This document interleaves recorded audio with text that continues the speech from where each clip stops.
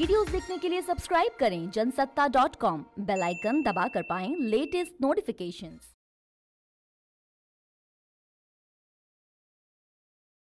हर कोई आज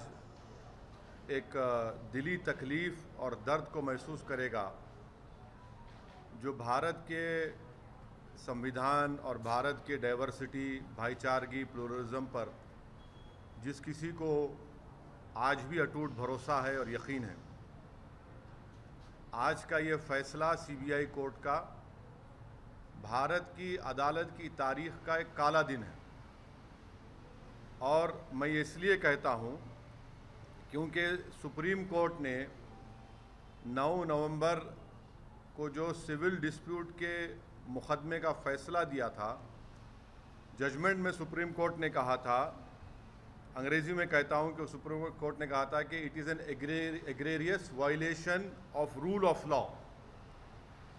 और सुप्रीम कोर्ट ने यह भी कहा था कि ये calculated act of destroying a public place of worship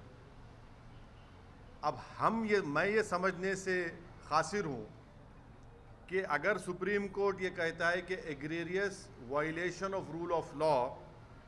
तो क्या कोई जादू से मस्जिद को शहीद कर दिया गया था 6 दिसंबर को। क्या कोई जादू से वहाँ पर 28 और 29 दिसंबर की रात 49 में मूर्तियाँ रखी गई थी? क्या कोई जादू से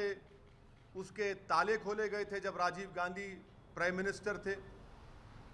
इसीलिए मैं ये कहता हूँ कि सुप्रीम कोर्ट ने जो बात कही, उसके उसके बरखिलाफ उसके बरखिलाफ आज ये जजमेंट आया है।